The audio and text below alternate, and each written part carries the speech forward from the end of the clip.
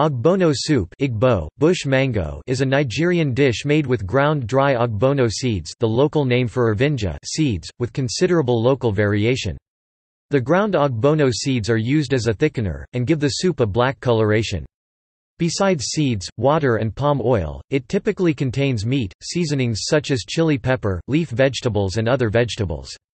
Typical leaf vegetables include bitterleaf and celosia. Typical other vegetables include tomatoes and okra. Typical seasonings include chilies, onions, and iru fermented locust beans. Typical meats include beef, goat, fish, chicken, bush meat, shrimp, or crayfish. It can be eaten with fufu, pounded yam, or with rice. In other countries the soup may be available in packaged prepared form in some markets that specialize in Western African foods. Ogbono soup has a mucilaginous slimy texture, similar to okra soup.